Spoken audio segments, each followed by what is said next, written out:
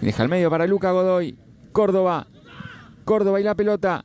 Para Vieto de media vuelta. Vieto pisa el área. La primera que le queda atrás. Baltasar. No le puede quedar el 10. Sale Marcengo. No pasa el peligro. El remate. El rebote para Vieto. Está.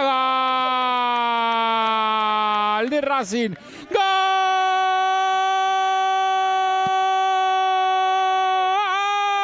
de la Academia Luis Ovieto.